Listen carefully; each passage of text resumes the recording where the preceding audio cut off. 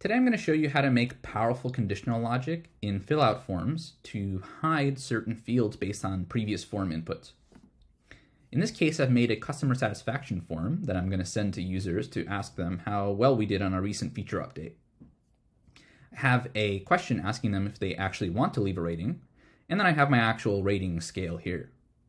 I'm going to go ahead and pick my rating scale, and I'm going to show this only when this is set to yes. So I'm going to go ahead and add conditional logic. And in Fillout, you can reference any previous form input by going into the specific page. And then in this case, I want to select my rating question, whether they want to leave a rating. I only want to show this when this is set to yes. So right now it's visible, but as soon as I hit no, they don't have to leave a rating.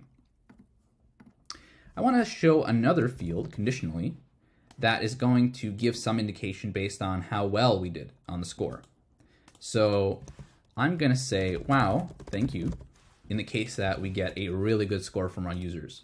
So I'm going to, again, show this component only when they did want to leave a rating, so they said yes. And I'm going to add another condition that says that the rating that was left is actually greater than, let's say, 90% in this case. We have to do really well. So right now, it is not visible. I'm going to add another alert, but in this case, it's going to be a warning that says, sorry, we couldn't help.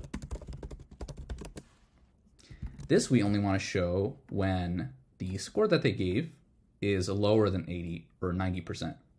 So again, I'm going to ask, I'm going to say if they said yes to the rating question, and also if the rating that they gave us was less than 90% in this case.